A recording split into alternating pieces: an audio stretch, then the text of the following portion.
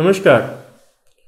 आज का टॉपिक है इरिटेबल बाउल सिंड्रोम यानी कि आईबीएस आजकल आधुनिक युग में सबसे ज़्यादा गैस्ट्रो इंटेस्टाइनल ट्रैक पे पाई जाने वाली एक ऐसी समस्या, जिसके रोगी की पैथोलॉजी और अल्ट्रासाउंड रिपोर्ट लगभग लगभग नॉर्मल आती है और पेशेंट की शिकायत रहती है कि मुझे कभी भी गैस बन जाती है।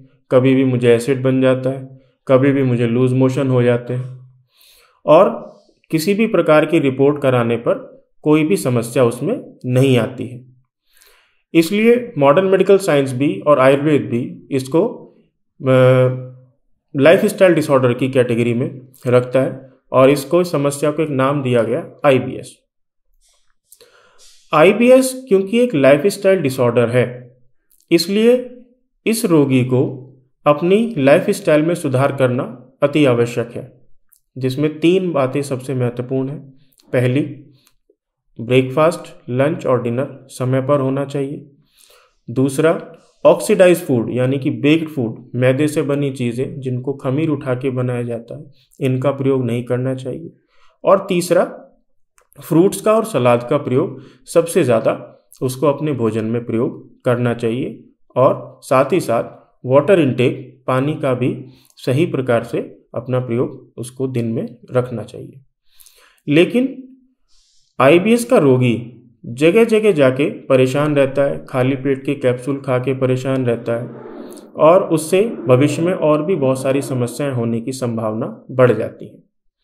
आयुर्वेद की कुछ ऐसी मेडिसिन है जो आईबीएस में आप, आपको काफ़ी सहयोग प्रदान करेंगी, जिसमें L T and I B S syrup दो दो चम्मच भोजन के बाद, और इनके साथ एक टैबलेट पीयूषवल्ली रस, एक टैबलेट कुटज घनवटी, और एक टैबलेट चित्रकादिवटी ये भोजन के बाद लेने से काफ़ी आपको आईबीएस में लाभ मिलता है, और आईबीएस के जितने भी संबंधित इम्पैक्ट शरीर पे आते हैं, जो भी प्रभाव उसके हैं, उन सभी में आपको आशातीत परिणाम प्राप्त होते हैं।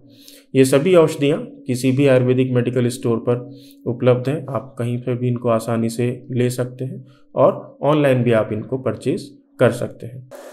आईबीएस एक बहुत ही जटिल रोग है, इसलिए इसको ठीक करने के लिए आप आयुर्वेद के शरण में जाएँ और आयुर्वेद ही इसको पूरी तरीके से समाप्त कर सकता है। धन्यवाद।